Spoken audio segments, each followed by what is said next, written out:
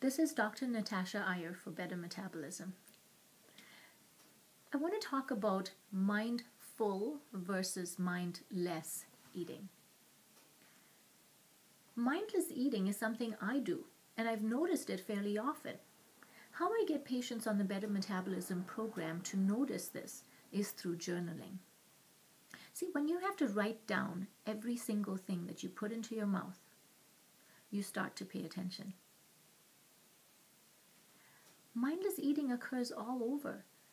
At work, when there's things displayed on a table, or at the kitchen, or someone's having a birthday party or celebration, or heaven forbid, Christmas and Easter and all of that. And it's so easy to just pick up things and put it in your mouth.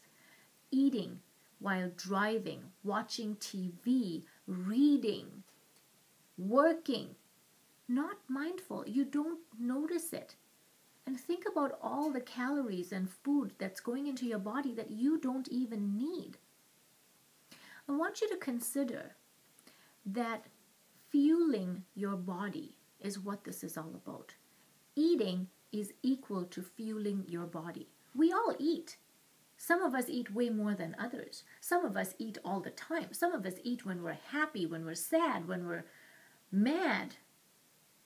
And then some of us don't eat when we're happy or sad or mad. So every person has eating behaviors attached to emotion.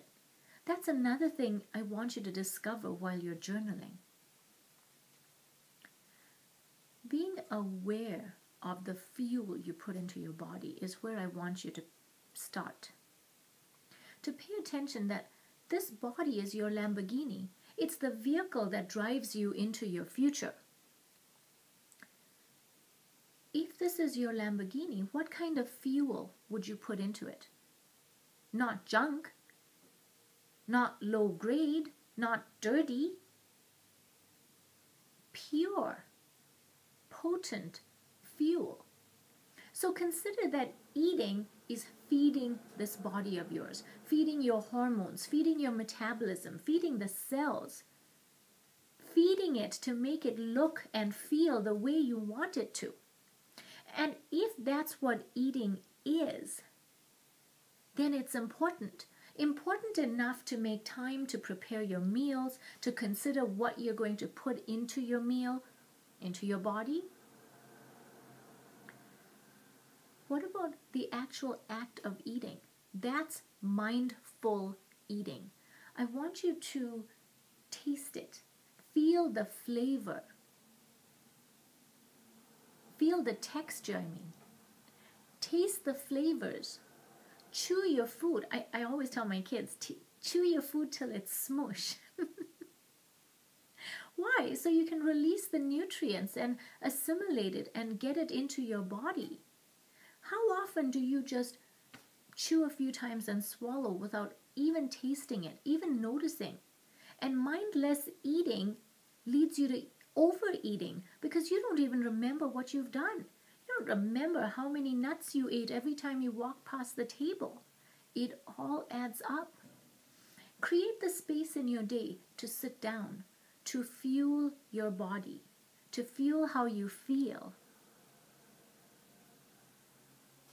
Feed your body mindfully.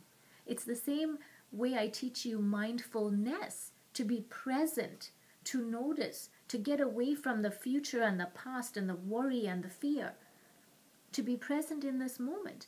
In the same way, be mindful when you're eating. Create that time, taste it, chew it, savor it, and notice how much you've eaten. Are you full?